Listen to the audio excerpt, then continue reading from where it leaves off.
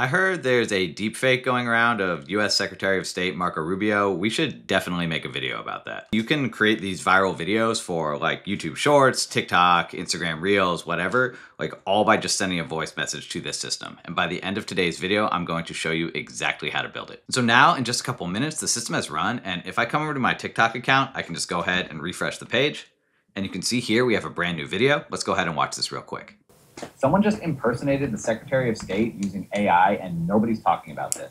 An unknown hacker created a fake Signal account pretending to be Marco Rubio. Cool, so you get the idea there, and then if I come over to Instagram, I can refresh the page, same thing. You can see we have the same video published to Instagram. If you wanna get access to the workflow that we're building today, just click the link in the description, come into the classroom, head over to the resource library where you have access to all of my make.com and N8N templates, and then just come down here, it'll be in this faceless video section. So all you're gonna have to do is scroll all the way down to the bottom. I'll give you access to all the AI prompts I use. Go ahead, click the resource file and just click download and then you can open it up and start working. So let me give you a quick overview of how the system works and then we're gonna go through and break it down step by step. The system is super smart. It works with text messages or voice messages. It will research your topic if additional research is needed. It will write a viral script for you based off of proven YouTube strategies. It's then going to send the script off to HeyGen to generate your digital clone and 11 Labs to do the voiceover and then it's going to upload this to your TikTok and your Instagram channel using a third-party platform called Blotato, which is by far the best, cheapest, easiest way to upload your videos to every single social channel. So let's go through it. The first thing we've set up here is just a really basic Telegram trigger, and we've just set this up to connect to our Telegram account.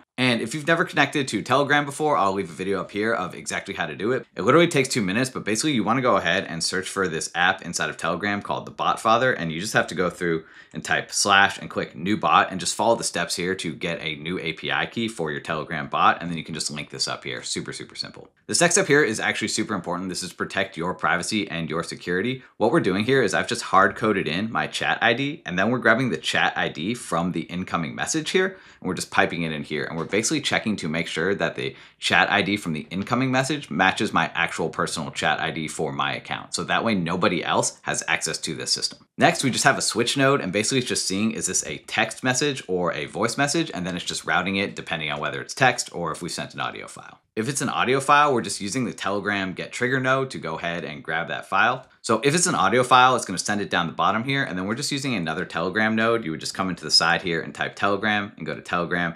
Basically, you wanna search for the get a file node down here. And then all we're doing is we're just grabbing the file ID that's coming in from this left panel over here, which is gonna be down here, literally just dragging and dropping this here. And we're just setting this download switch to true, so it's actually going to download the file for us and create this little binary file, which we can actually use for the rest of our flow. So then we're just passing the audio file to ChatGPT to just transcribe it so we can actually extract the audio and actually get text. So we can see here it says, I heard there's a deepfake going around of US Secretary of State, Marco Rubio. We should definitely make a video about that. You can see it right here. One thing to note here is that the name of this field is called text.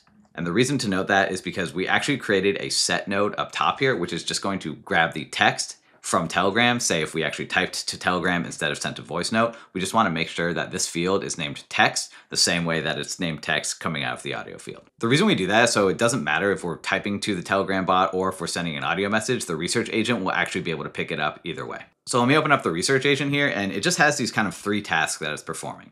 One, first determine if the incoming text requires or requests additional research.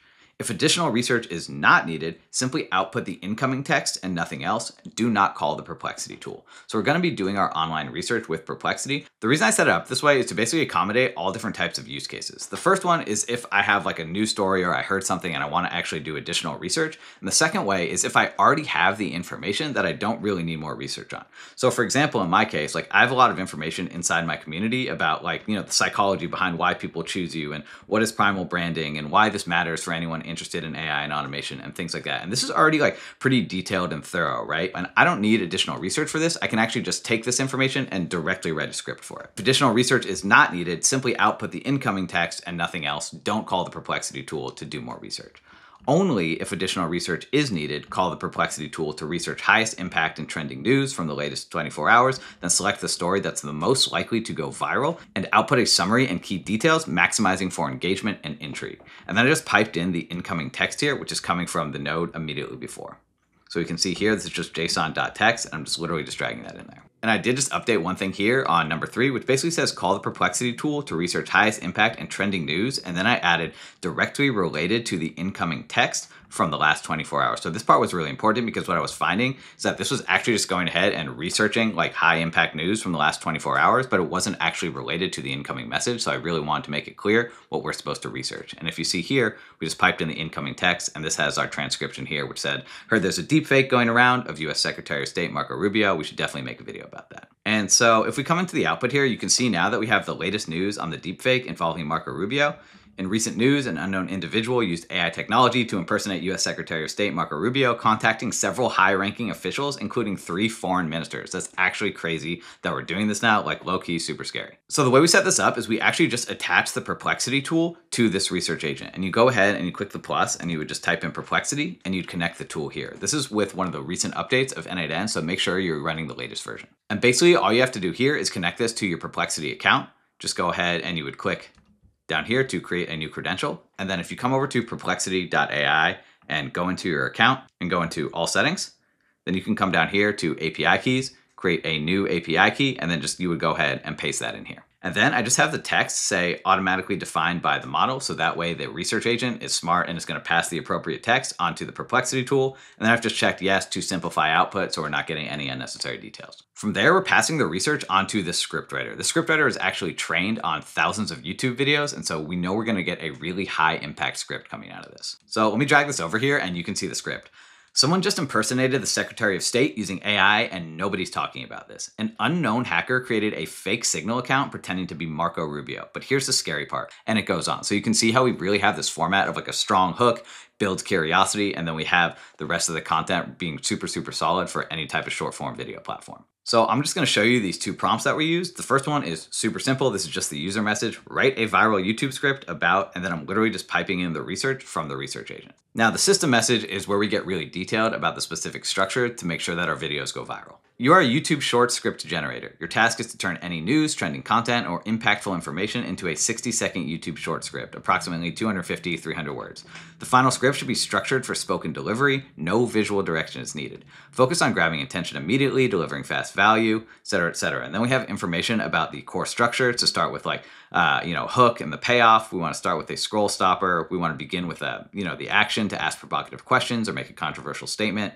Then we go ahead to kind of like give some examples of the hook and the setup and the core elements and all that good stuff. And so we give it a bunch of principles to follow, like evoking emotion, surprise, curiosity, outrage. We want to keep it tight, short sentences, no fluff, right? So this is really perfectly structured for any sort of viral content on short form social media. So the next thing we do is we actually pass this script over to HeyGen. And I basically have a separate little note here that makes things really, really easy for you to set up, where you're just gonna come in here, you're gonna put in your HeyGen API key, the ID of your avatar, and the voice ID that you wanna use. So let me just go ahead and show you where to grab all that stuff. So in order to get access to HeyGen, you're gonna come over here and you're gonna create your account.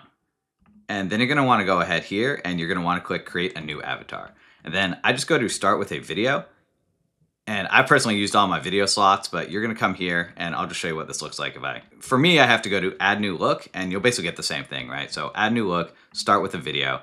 If you just come in here, go to next, and you just upload a footage of you talking to the camera, it can literally be anywhere. And like these generate in like a couple minutes, you'll have a brand new clone ready to go. From there, what you wanna do is you wanna actually grab the ID of your avatar. So you just come in here and click copy avatar ID and come in here and you would just paste this into the avatar ID field here. And then to get your API key, just come into your name, go to settings, and go to subscription and API, and get access to the HeyGen API.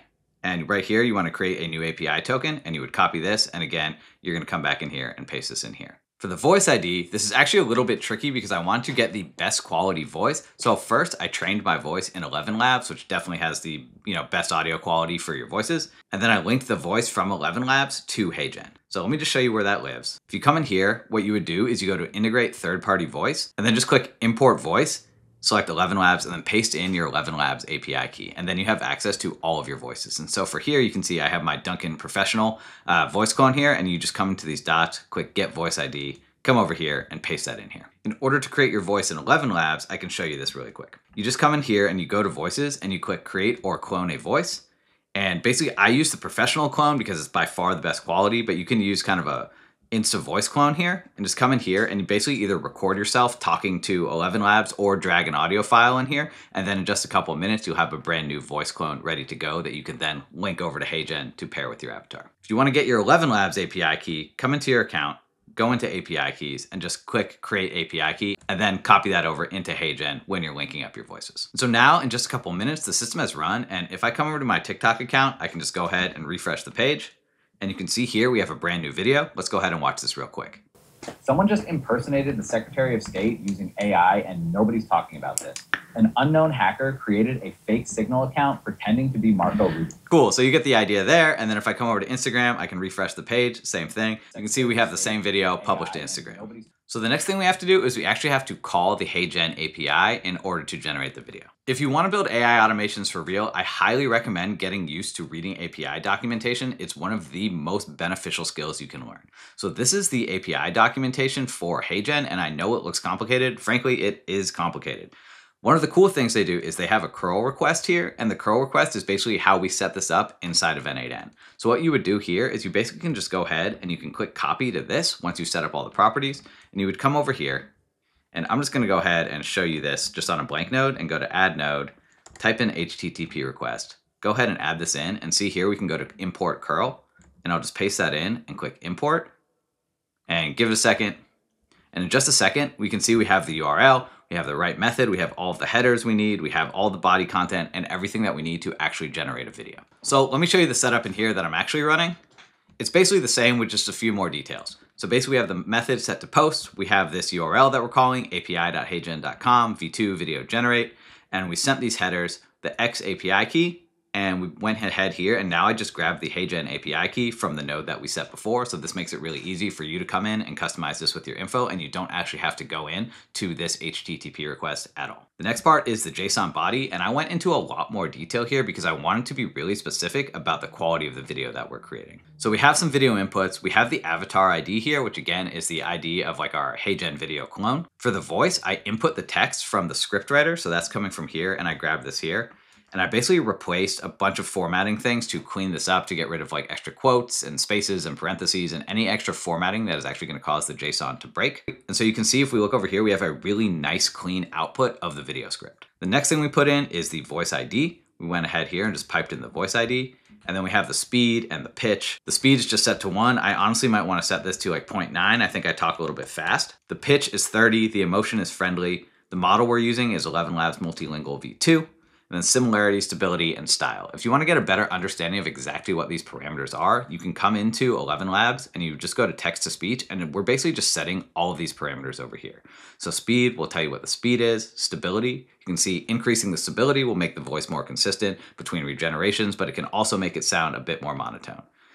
And then similarity is basically boost the similarity to the example that you uploaded or if it's varied. And then style exaggeration is like how expressive the speech is. And then we just set the dimensions 720 by 1280 for vertical format, the aspect ratio same 9 by 16. And then we turned captions to true because I wanted to auto caption the videos because it's going to automatically post for us. And so we don't have the option to add those captions in after the fact. We actually have to do it when we generate the video. And then for the title, I literally just put the date because it actually doesn't matter what the title is because we're never gonna see it. And then from there, what we're doing is we just set up a wait node. And so I just set this up to wait one minute. And then what it's going to do is it's going to check to see if the video is done. So here we have a very similar node to the other HTTP request, except we're just doing a get method and we've changed the URL that we're calling to this URL here. And then we've just piped in the video ID from the create avatar node, which is where we're actually making the request, right? So we're just pulling in the video ID here. Then we're setting up the same thing, right? The our X API key is the only other field that we need here. So basically what's happening is this is checking to see if the video is finished processing. Every time it checks, it's going to send it to this if node to see if it's finished processing or not finished processing. So we basically have an if node just to see, does this video URL exist? So if the video URL exists, we know that the video is done, it's finished processing, and we can pass it on for publishing. If the video doesn't exist yet, we know that HeyGen is still generating our video, and what it's gonna do is it's just gonna pass this back to the wait node, it's gonna wait another minute, it's gonna check again, and then it's gonna pass it back on to see is this done or not done. Again, if it's done, it passes it on. If it's not done, it waits a minute. And so this is just a way that you can constantly check to see if it's done, so you're not wasting a bunch of time guessing, and you're also not trying to grab a file that hasn't finished processing yet, in which case you'll just get an error. So the next thing we're doing is we're setting up Blotato. This is how we can auto-publish to literally every single platform. It's incredible. Let me show you the site here so you know what's going on. This is Blotato. They are perfect for posting viral faceless videos and things like that. There's all these testimonials. This was started by Sabrina Ramonov, who's one of the biggest AI influencers in the space. It's really incredible. And if I just go ahead and log in here, Basically, I mostly only use this for the API, but if you want, you can go ahead and you can repurpose all your content, taking videos and turning them into like LinkedIn posts or Instagram posts or whatever, or Twitter posts. Uh, I'll leave a link in the description where you can sign up to get started, but they definitely have the best API around I've seen to publish to every platform. It is so easy to set up. You literally just come in here and you log in with any of your social media accounts. And then all you have to do is copy the accounts IDs of like the accounts you want to publish to. Super, super simple. The other thing you just have to copy is copy your API key. And from there, we're just setting up all our Blotato IDs. And so again, for like Instagram and TikTok, these are mine. And they're coming from here, right? If I want to go to Instagram, I just click copy account ID, and then I would just come in here and paste in my Instagram account ID. Same thing for YouTube. And then over here, I'm just pasting in my API key from where I showed you earlier. And now I'm making another request to Blotato. The reason that we do this is because Instagram and TikTok require like a publicly available URL. And so just coming out of HeyGen, the social media platforms actually won't have access to it. So in order to publish everywhere, we first upload it to Blotato and then Blotato handles the rest of the publishing for us so that we don't have to worry about making things publicly available or not. Blotato also has really good API documentation. If you come into the help here, and just scroll down to the bottom and you can go into like this API guides and you can come into the API reference and you can see how we're publishing posts or uploading media or things like that. So in here, we're just using a post method and this is the URL that we're sending it to. And then we're just grabbing our API key from the set node before. And then we're using this JSON here, which is literally just the URL of the video that's coming from the request to HeyGen. So if we come in here, I'm using this video URL caption because I wanna make sure that we're grabbing the video that actually has the captions rather than the one without. And then the next thing I'm doing is I'm just writing a caption for the video. So this is for Instagram or TikTok. And so I'm just basically saying, write a caption for this video script. And then I'm grabbing the script all the way back here from the script writer. And I'm just pulling this in here. And I just say, write it at sixth grade reading level. So it's really, really basic. And you can see here that since I've dragged that in, this is actually the full script for our video.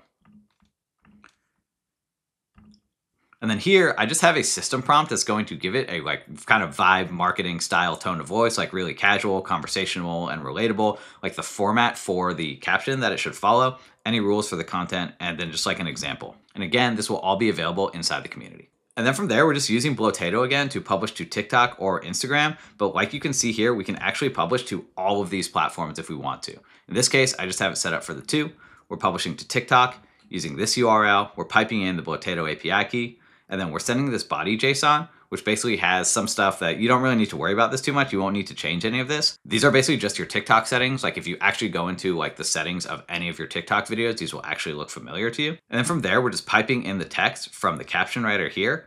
And all I'm doing is adding two toString on the end of it. Because if I don't, let me just show you what this looks like we basically get this and we get all of these extra spaces and things like that and just some extra formatting that basically Blotato and any of the social platforms have a hard time publishing and you're going to get like a JSON error if you don't add this and so you're not going to actually be able to publish. So we just want to make sure that we're sending everything to a string. And then we're just piping in the URLs from the media URLs which is coming from here. And then again the account ID that we're using for our TikTok account in this case, which is coming directly from this node where we set our IDs earlier. And we're doing the same thing for Instagram. Basically nothing has changed except for this JSON body, which is actually specific to the Instagram platform. If you thought this video was helpful, please make sure to subscribe to the channel, hop into the community if you want to get access to this workflow, and if you enjoy creating viral faceless videos, check out this video up here where I show you how to make those viral Yeti vlog style videos. I'll see you over there.